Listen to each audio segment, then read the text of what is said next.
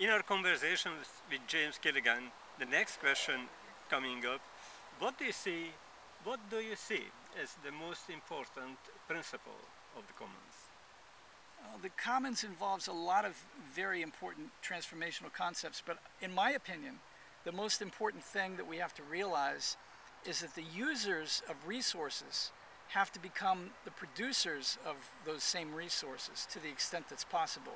We see this happening not only through uh, indigenous cultures and traditional commons across the world, but we also see it happening through the digital commons and many of the activities that are taking place in the digital world. And many kinds of commons can aspire to that ideal, where the users of the resources become the producers of the resources.